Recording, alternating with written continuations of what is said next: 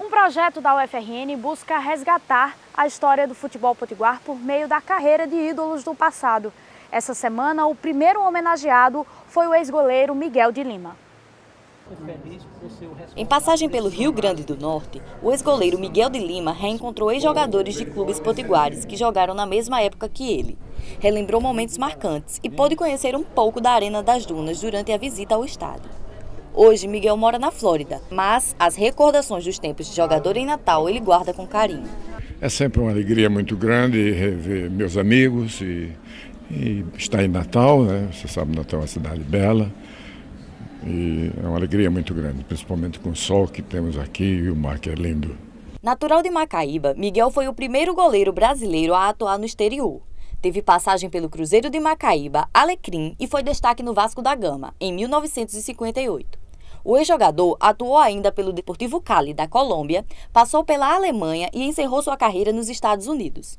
O goleiro foi homenageado pelo projeto Mérito Esportivo da UFRN através da inauguração de uma mostra fotográfica que retrata momentos emblemáticos de sua carreira.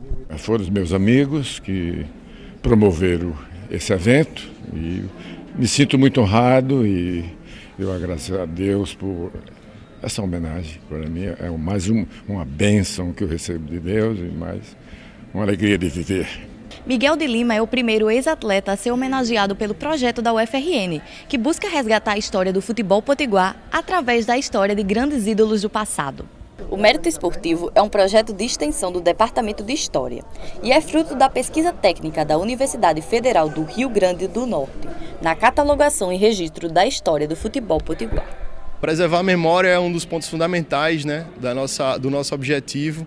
E fazendo isso nós resgatamos a memória, preservamos a história e fazendo com que as novas gerações possam saber da importância e da grandeza do nosso futebol.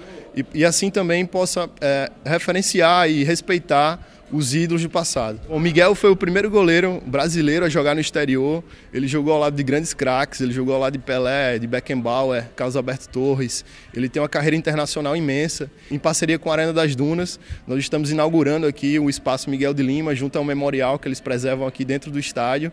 E a ideia é que isso se repita com outros ídolos também e que nós possamos ter orgulho do nosso futebol. Yeah.